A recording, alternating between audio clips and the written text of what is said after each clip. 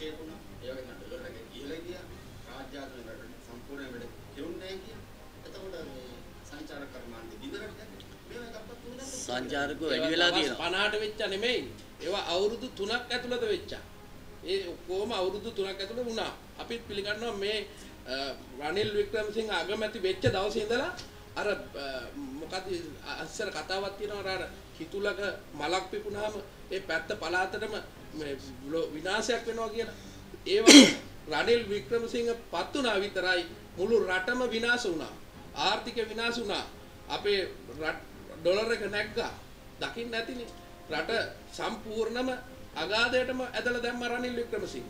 ඒකෙන් එක්කම 26න් පස්සේ ත්‍රිපක්ෂය කියන කිසි දෙයක් නේ ඉතින් ඩොලර් එක ඉහළ ගිහින් ඊට පස්සේ සංචාරක කර්මාන්තය ඩොලර් එක වැඩි වෙගෙන ඇවිල්ලා ඒක ආපහු ආපහු අඩු ආපහු වැඩි වුණා. හැබැයි ඒ වුණාට තෙල් මිල අඩු කරේ නැද්ද? තෙල් මිල අඩු කරේ නැද්ද? පෝර සහන ආධාර දුන්නේ නැද්ද?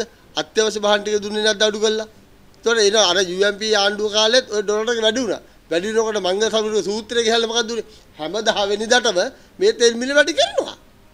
හැම 10 වෙනිදාම වැඩි කරනවා. හැබැයි ඒ 10 වෙනිදා අපට හවුන්නේ නැද්ද ඔක්තෝබර් 26න් පස්සේ අපට ආවද නොවැම්බර් 10 වෙනිදා. ඒතකොට මේ තෙල් සූත්‍රය අනුව වැඩි වුණාද? තෙල් සූත්‍රය අනුව අඩු වුණා රුපියල් 20කින්. ඒතකොට මොකද්ද මේ සූත්‍රය?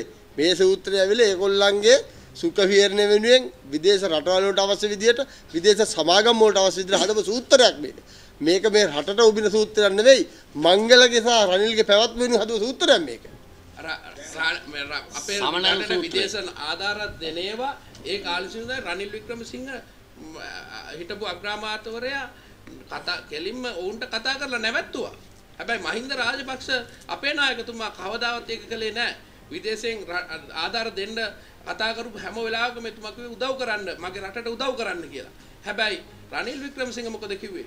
මේ රටට සත පහක ආධාරයක් දෙන්න එපා කියලා. අපි දැක්කා මේ මොකද මේ එක නාලිකාවක පැහැදිලිව කියනවා. ඒක පැහැදිලිව කතා කරලා කිව්වා. ඔය සිරස නාලිකාවේමයි කතා කරලා කිව්වේ ඔබ.